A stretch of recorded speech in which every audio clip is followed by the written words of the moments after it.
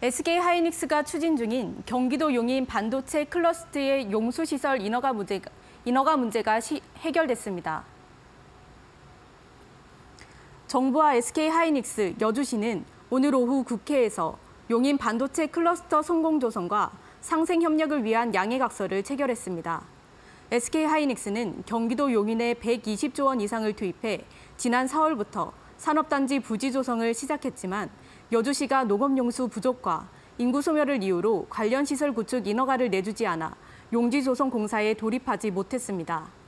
산업부는 이번 여주시와의 상생 방안을 계기로 공사가 본격화되면 2027년 준공 목표를 달성할 수 있을 것으로 전망했습니다.